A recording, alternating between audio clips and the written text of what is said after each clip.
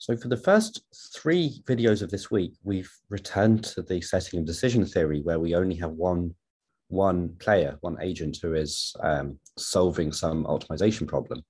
Uh, that is, we return to the setting of the very first video of week one, um, but with a significantly more complicated type of decision problem that has taken us three videos to talk about. Um, so now we're going to basically return to the game theoretic settings. So we're going to, so we have kind of two different complexity dials. Uh, we have one for having one agent or multiple agents, which is where, where whether we're in a single objective or multi-objective optimization setting. And the other one is kind of whether a, kind of how complicated our optimization problem inherently is. Um, so now we're going to have all of the complexity of Markov decision processes, um, but we're going to um, return to a game theoretic setting.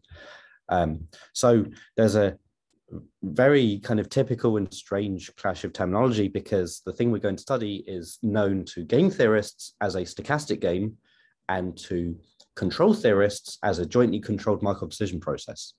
Um, so the second thing is a bit of a mouthful, but it's much more informative. And maybe you can basically completely guess uh, just from the name jointly controlled Markov decision process, what this thing basically is. It's a Markov decision process where um, the actions aren't completely controlled by one agent, but are jointly controlled by multiple agents with potentially different objectives.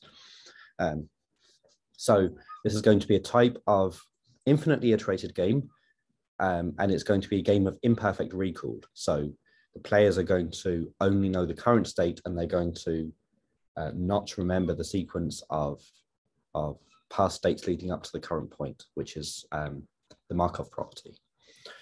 Okay, um, so we're going to fix a um, Markov chain. Um, we're going to have some number of players n. Each player is going to have a set of actions that they can do. Um, and then we're going to say that the transition function of the Markov chain is going to depend on the actions of all of the players and it's going to give you back a joint distribution on the new state and also payoffs for all players. Uh, so in other words, it's a function of this type, or in other, other words, it's a conditional joint distribution on the next state and a payoff vector for all of the players, given the current state and the vector of all of the actions. Okay, now a strategy, so I've switched back to calling these strategies, but we could also call them policies. Um, so a strategy for the ith player is going to be a function from the current state to the ith player set of actions. And now, as is now completely, uh, as you should be completely used to, uh, if we fix strategies for all of the players and we also fix a start state, then stochastically the Markov chain is going to generate an infinite sequence of states and, and also an infinite sequence of payoff vectors, which I'm writing like this. So here now we have two indices. So i is going to vary over uh, the players. So i goes from one to n, and j is varying over the stages. So j goes from zero to infinity. And we're going to say that um, the goal of the ith player is going to maximize is going to be to maximize this discounted sum. So here we have a um, a shared discount factor um, we could also just as easily say that each player has their own individual discount discount factor. Uh, it doesn't really make a big difference. So here the sum is over the stages j. i here is fixed because that's we're talking about the goal of player i. Um, so we are back in a multi-objective situation. So there is no longer a kind of uniquely defined maxima, but instead we have to deal with solution concepts and different notions of what it means to be uh, kind of jointly optimal. Okay. So this is a very kind of expressive setting for talking about real life situations. Um, so here's a here's a very typical kind of thing. Um, so the prisoner's dilemma is supposed to be a simple model of what's called a social dilemma, where um, the thing that is individually optimal, the thing that is um, globally optimal conflict with each other. Uh, we can refine this to a kind of more more realistic model of what would typically be happening in real life um, by playing games on a Markov chain and the simplest thing we can do is to have a Markov chain with two states, which we call the good state and the bad state. Um, so we're going to imagine that we start in the good state, and when you're in the good state, the um, you get a higher immediate payoff for doing a thing that is increases the probability of transitioning to the bad state. Um, so, for example, um, if you have a limited a limited shared resource like a fishery, um, you can have multiple parties who can choose to extract resources from it sustainably or non-sustainably. Um, and then you can have a good state where the resource is abundant and a bad state where the resource has collapsed. And, um, and so um, extracting sustainably with high probability keeps the resource in the, in the good state. And then extracting non-sustainably with high probability uh, can put the resource, make it transition into a bad state. And in the bad state, um, the, the payoffs are much lower. So there is kind of no resource left. Uh, and then there are, there are different things you can do here. So either you can model this as you're completely stuck and the resource has gone forever, um, or you can say that with careful management and also luck, um, the resource can transition back into the good state.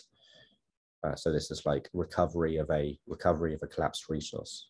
Um, so uh, it might have occurred to you, or you might be looking at the slides, that um, the most important example to everybody of this is carbon emissions. So we can, this is an extremely simplified model of uh, environmental collapse that we can have kind of a good state and then the bad state where like global uh, global uh, climate systems shift into a different uh, attractor state. Uh, and of course, when you're modeling, these numbers can only be estimated from climate models. Um, here's a here's a very different example. So the previous example was extremely economicsy, uh, although I could say um, you, this this kind of situation does also appear in computer science um, when you have um, joint access to a limited uh, computational resource, um, like for example a server on a network with limited capacity. Um, here's a here's a very different example. Um, suppose you have a swarm of robots uh, who would like to coordinate over some shared goal, but um, but they make decisions independently, or they make localized decisions independently. Uh, so here's um, a version that kind of gives you the idea of this example, but is uh, it, uh, simplified to an extreme. Uh, suppose we have two robots who would like to cover two areas. Um, so they would kind of like to get into a state where there is one in each of the two areas. Um, and so we're going to have a Markov chain with four states where because two robots can be in two different states in four ways because they can also be in the same place. Um, and then in each round, we're going to say that the robots observe both of their locations and then each of them can individually choose where to move. Uh, so either to stay put or to go to the other area and then they're going to get a higher payoff when they're in different positions. So this is a this is an anti-coordination game.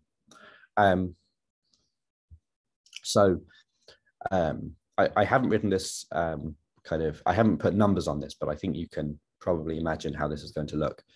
Um, and notice in this example, even if the dynamics of this are deterministic, so let's say even if with probability one the robot successfully um, moves to the location that it chooses to move to. Um, even if we do that, then um, we can also be in a situation where um, where stochastic strategies are required, so kind of probability comes back. Um, for example, if we require that both robots, or in general, all of the population of robots use exactly the same strategy. Uh, so this might be because, so their strategy might be pre-programmed um, but then the kind of random decisions that they make by following that strategy happen locally. Uh, and, and so if you have a swarm of robots, they can all be pre-programmed in exactly the same way. So they all have to use the same strategy. Uh, so here's an example of a strategy that uh, the two robots could both use in this situation. Uh, if they observe that they're in different positions, then with probability one, stay in the same position.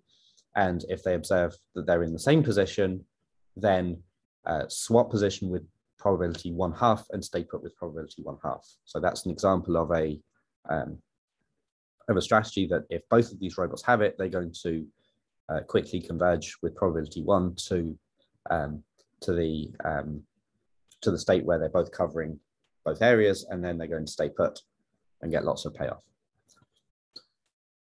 Okay, um, here's a bit of an aside. This is something that I could have put in um, previous videos, but I decided to put here. Um, so there's a, so for the first half of this slide, forget about stochastic games and go back to MDPs. Um, so there's also a thing called a partially observable Markov decision process, which is usually shortened to POMDP. Um, so a POMDP is an MDP where there is also a set of observations. So the agent can no longer perfectly observe the state, but there's a set of observations about the state that they can make. And there's a function that says, uh, given the current state, what observations could they make? Uh, this could also, of course, be a stochastic function because the agent could have, say, faulty sensors or like kind of imperfect sensors. Um, and uh, I won't say the details, but this is pretty similar to a partition of the set of states into information sets. Uh, partitions into information sets are extremely similar to functions out of the set of states and into some set of observations.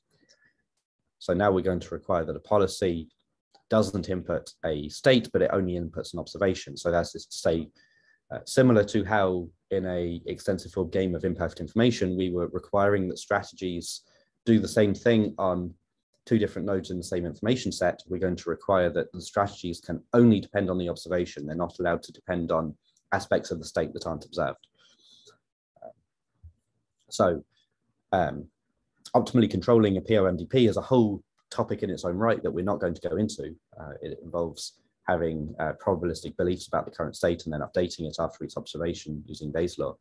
Um, so this is also very interesting. So the reason I bring this up now in this video is that in a there's also a thing called a partially observable stochastic game and we can give each player a potentially different set of observations. So each player is going to have a function that says what they can observe given the current state. So for example you have different agents with different kinds of sensors uh, who can make kind of different kinds of observations about the world.